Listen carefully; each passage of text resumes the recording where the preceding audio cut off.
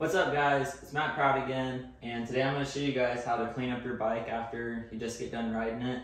Um, bug season's coming up, um, riding out on the road is going to be a lot of dirt, debris, bugs and stuff getting up on your bike, so the faster you get it off, the nicer your bike's going to look over time and a lot less work you got to keep up on your bike, keeping it clean and everything. So this stuff's really easy to use. I'm using Adams uh, waterless wash.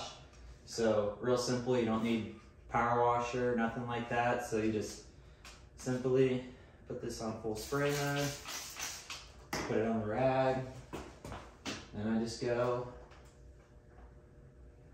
nice streaks. You want to do it pretty light because you don't want to scratch it at all. So just try to do it real, real light on there. Try to cover at least like one panel on the bike time before I start the next. That way I don't miss any spots wiping down or anything like that. So what's nice about this stuff too, you can use it on like the plastics, any paint, metal, stuff like that on here. And it won't hurt it at all. It'll still make it look nice, have a nice finish on it. Nothing slimy, smeary.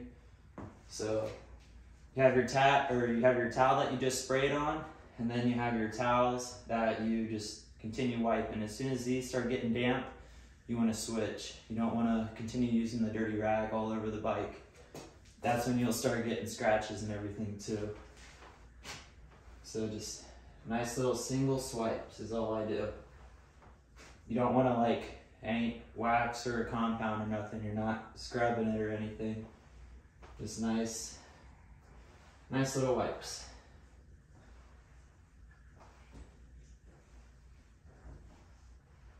And actually looks really good. This stuff's made up of a bunch of different type of uh, um, materials and everything too. It's got a bunch of different cleaners, waxes and stuff in it too. And I've actually been, they've been using this for a long time and I've been using it for a little bit too. I, I really enjoy it. But yeah. Just like that, that panel looks super clean. So then again, I just flip to a different side of the towel because you don't know what all dirt and debris you're gonna have after just wiping down that one panel. Just get it all again. And just, I'll get this spot right here and this plastic right down here. So I got a little bit of the tank up there too. It's okay.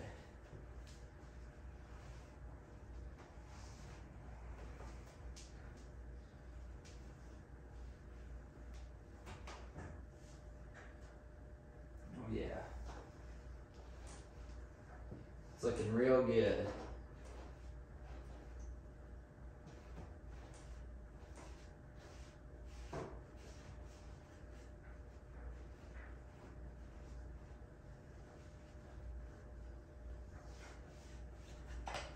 Yeah.